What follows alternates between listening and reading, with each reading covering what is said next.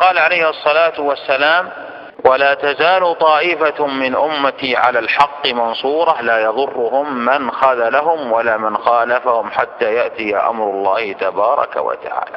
ولا تزال طائفة الطائفة هي المجموعة من الناس. وقال من أمتي الأمة هنا هي أمة الإجابة. أخبر عليه الصلاة والسلام بأن هذه الطائفة لها مزايا. من مزاياها؟ أنها على الحق. ثانيا أنها منصورة. ثالثا لا يصيبها ضرر ولا ضير. لا في من خذلها ممن ينتسب إلى أمة الإجابة ولا إلى من خالفها منهم أو من غيرهم. وأخبر رابعا وأخبر بأن هذه الصفات باقية لهم إلى أن يأتي أمر الله عز وجل. ترى من هي هذه الطائفة قال ابن عثيمين رحمه الله قال تكلف بعض السلف فقال إن هذه الطائفة هي أهل الحديث وهذا ليس بصحيح لما؟ لأنه إن كان المقصود من قولهم بأهل الحديث هو من اعتنى به رواية ودراية فإنه سيخرج أهل التفسير وأهل الفقه فيكون في هذا القول حصر لأهل الحديث في هذه الطائفة. وبالتالي فإن شيخ الإسلام ابن تيمية على قولهم ليس من هذه الطائفة ولا يمكن أن يقول أحد بهذا. ولذا قال الذهبي رحمه الله وهو من أهل الحديث من حفاظ الحديث بل من أحفظهم قال كل حديث لا يعرفه شيخ الإسلام رحمه الله فليس بحديث فهو رافع راية الحديث. ولذا قال ابن عثيمين رحمه الله قال فتنازعوا في الإمام أحمد. هل هو من أهل الحديث أو من أهل الفقه؟ فقال الفقهاء إنه فقيه وقال أهل الحديث إنه محدث. فلا يصح أن يقال مثل هذا القول. إلا إن أريد بأهل الحديث إن أريد به المعنى العام وهو أن يدخل فيه كل من تبنى حديث النبي صلى الله عليه وسلم دراسة وتعليما وتطبيقا ودعوة سواء كان من المصطلح عليهم بأنه من المحدثين أو لم يكن. هذا شيء من كلامه رحمه الله. وهؤلاء السلف الذين ذكرهم رحمه الله الذين قالوا بهذا منهم الإمام أحمد. قال رحمه الله إن لم يكن هم أهل الحديث فلا أدري من هم. وقال ذلك ابن المديني وقال ذلك البخاري رحمهم الله. وهذا يكون قولا لهؤلاء المحدثين كالإمام أحمد والبخاري وابن المديني أعلام. الحديث.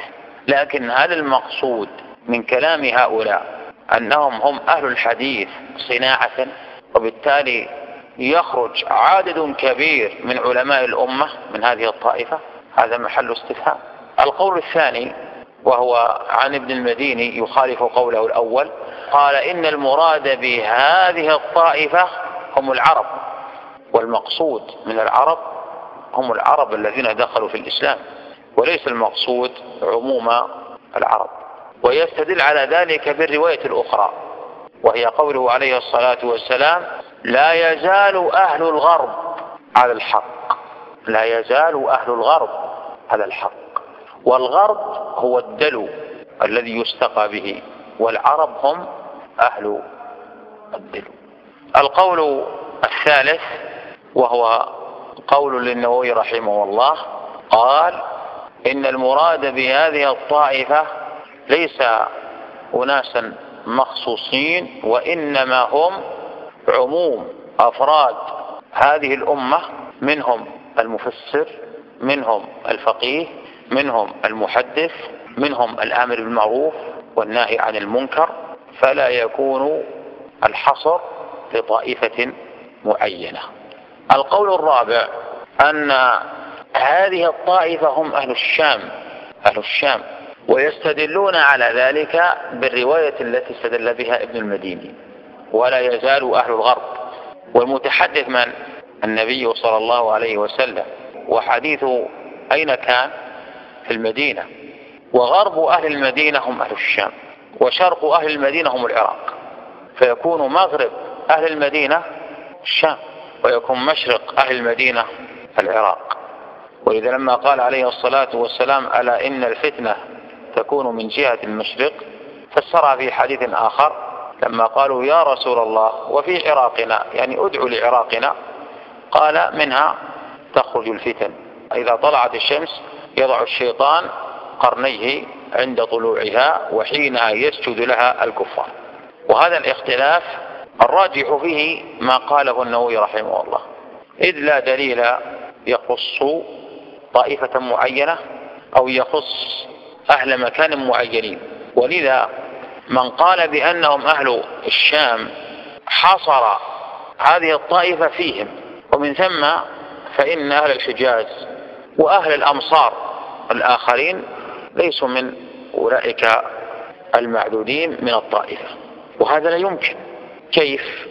لأن هناك علماء ناظروا وبينوا ودفعوا الشبه ووضحوا الحق في الحجاز وفي غيره. في الحجاز في مصر في العراق في الشام. فدل على أنه ليس المراد البقعة. صحيح أن للشام فضائل إذ أمر النبي عليه الصلاة والسلام عند الفتن أن يذهب الناس إلى الشام وهذا يدل على فضل الشام. لكن لا يحصر أمر هذه الطائفة في أهل الشام. ولذا فإنه لا يعلم بعد ذهاب شيخ الإسلام وتلاميذه في الشام لا يعلم أن هناك أحدا قام بالتصدي لأهل الفرق الضالة. فنجد أن الحق أصبح في غير الشام فدل على أنها تنتقل. ولذا قال النووي رحمه الله قال وليست محصورة في بقعة معينة لا في الشام ولا في بيت المقدس ولا في غير ذلك بل يحتمل أن يكونوا متفرقين في البلدان ويحتمل أنهم في هذا التفرق يتناقصون إلى أن يجتمعوا في بقعة واحدة.